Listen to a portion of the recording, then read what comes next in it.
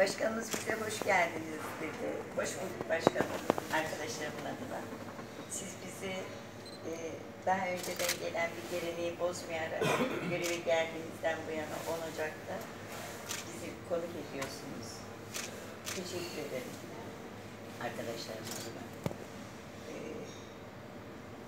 biz Anamur'da e, aktif görev yapan belli sayıda gazetecileriz.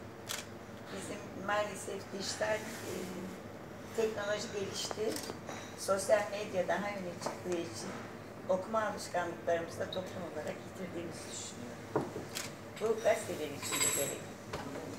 E, gazeteler için de geçerli. O nedenle Anamur'da misal biz haftalık bir yayın organımız vardı. Buna ara vermek zorunda kaldık. Pandemi nedeniyle ara vermek zorunda kaldık ama şu anda çıkan iki yerel yayın organımız var. Zaman zaman Muharrem'le sohbet ediyoruz Muharrem arkadaşımla.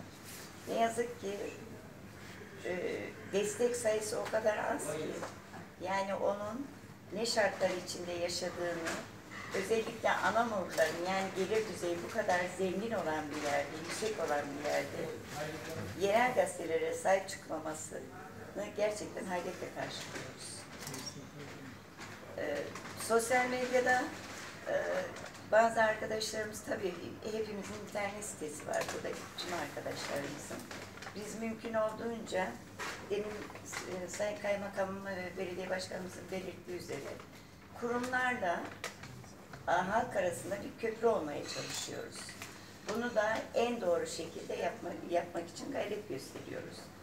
Bizim özellikle en çok çalıştığımız haber kaynağımız olan yer emniyet, jandarma ve yerel yönetimler. Yerel yönetimden şu ana kadar bir sıkıntımız olmadı. 24 saatte belediye başkanımıza ya da ilgili kurum amirine ulaşabiliyoruz. Haberimizi onaylatmak için. Ancak emniyetle aramızda böyle bir köprünün olduğunu e, ne yazık ki söyleyemeyeceğim.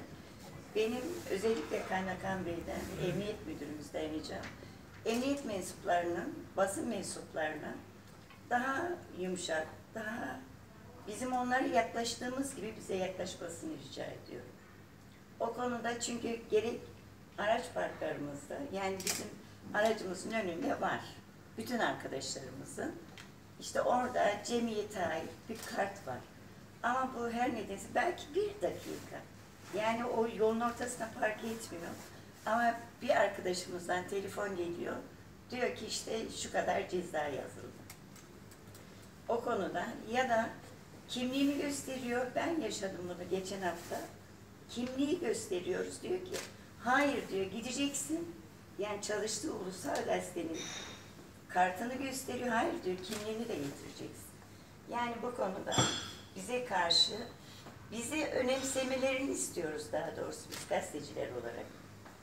Bunun dışında e, biz diğer kurumlarla da yani emniyette de öyle çalışıyoruz. Biz mesela e, toplum destekli polislerimizle gayet geçmiş dönemlerde de bugün de öyle gayet sıcak ilişkiler için, içerisindeyiz. Belki de toplumun polise bakışının değişmesinde biz yerel gazeteler olarak çok büyük katkımız olduğuna inanıyorum. Ee, biz kaymakamlıkla, kaymakam bey sizden de ricam, biz daha önceki dönemlerde özellikle teknoloji ve madde bağımlılığıyla ilgili bir takım çalışmalarımız olmuştu. Bunun daha e, devam etmesini, yani biz gazeteciler olarak, biz cemiyet olarak bunu bir tiyatro yapmıştık. Hapishanede de bunu cezaevinde de göstermiştik. Bu konuda tekrar böyle bir yol almak istiyoruz. Özellikle teknoloji ve madde bağımlılığıyla ilgili. Ee, bu kadar. Tekrar konuk ettiğiniz için teşekkür ederim.